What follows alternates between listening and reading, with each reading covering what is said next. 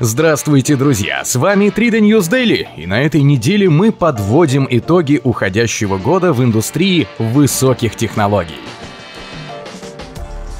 Начнем с Apple. Ожидания были высоки, ведь в начале 2016-го появились слухи о масштабном обновлении iPhone, новых маках, больших автомобильных амбициях и каких-то сюрпризах.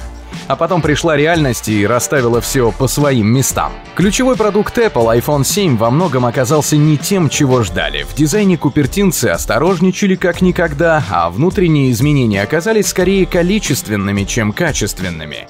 Исключением стала только двойная камера на iPhone 7 Plus и спорное решение об отказе от аудиоджека.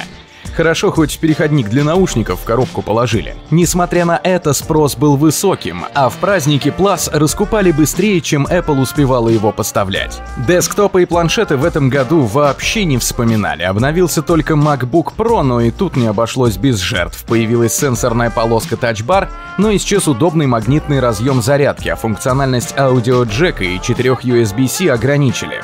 Добавьте к этому лимит на 16 гигабайт ОЗУ и проблемы с батареей и получите Pro для потребителя, но никак не для профессионала. Зато софтверное подразделение Apple Services продемонстрировало впечатляющий рост. Прибыль в последнем квартале взлетела на 24%, что вывело этот бизнес на второе место после iPhone.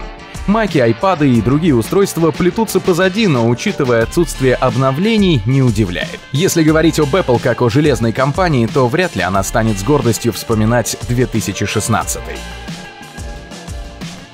Таким же непростым, но все же с большим оттенком позитива этот год был для Google, точнее непосредственно для Google 2016 был отличным, поскольку организация под зонтиком Alphabet позволила максимизировать прибыль от рекламы. Кроме того, компания запустила Android 7 и представила смартфоны Pixel и Pixel XL. Если описывать аппараты одним предложением, то оно будет таким. Отличное железо и софт, но высокая цена и излишняя зависимость от облачных сервисов.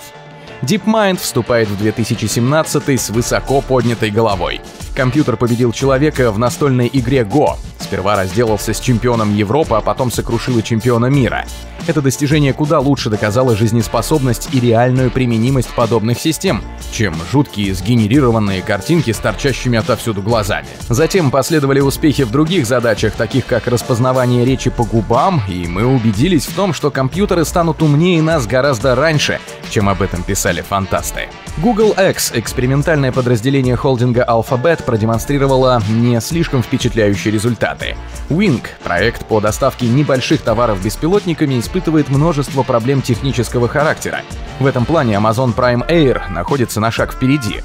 В начале декабря был доставлен первый заказ покупателя в британском Кембридже, где программу впоследствии расширят, сперва до дюжин, а затем до сотен реальных клиентов. Проект беспилотного автомобиля, главная точка притяжения Google X, тоже претерпел значительные изменения. Alphabet выделила его в отдельную дочернюю компанию под названием Waymo. Слухи о прекращении работ над собственной автономной машиной не подтвердились. Компания по-прежнему намерена представить коммерческий вариант к 2020 году. Но различные формы сотрудничества с автопроизводителями, о которых говорили информаторы, действительно имеют место. К примеру, сотни гибридных минивенов Chrysler Pacifica пополнит флот Waymo в 2017 году. А Honda рассматривает возможность использования технологий Google в собственных самоуправляемых машинах. На этой неделе вас ждут еще три выпуска с итогами года, а в празднике на 3dnews.ru выйдет целая гора статей о самых интересных новинках 2016-го, от роутеров и материнских плат до игр и видеокарт. До встречи, друзья!